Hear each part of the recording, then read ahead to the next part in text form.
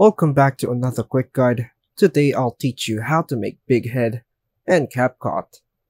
And it's literally an easy process. Make sure to watch until the end of the video to know how it's done.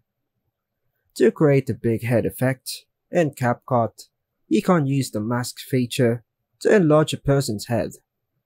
Here's a general guide on how to do this.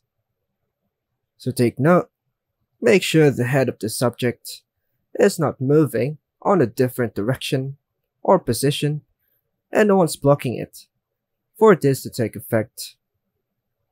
Now, launch the CapCut app and start a new project. Add the video clip containing the person whose head you want to enlarge to the timeline.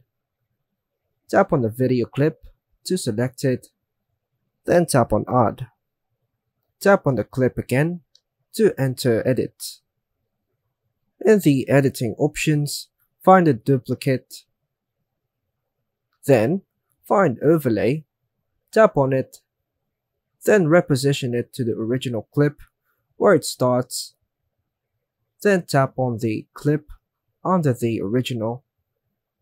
Then zoom it a bit using both of your fingers by pinching it and dragging it. Find the mask, choose the circle, position it to the head by dragging. You can also change the size of it using the many arrows of its corner. Now, since the head of the subject moves in different direction, let's use the keyframes. So tap on it, then move the mask and follow the position of the head of the subject. Once done, hit the check button. Play the video to preview the big head effect. Make any additional adjustments if necessary. Once you're satisfied with the effect, finalize your project by adding any other elements or effects you desire.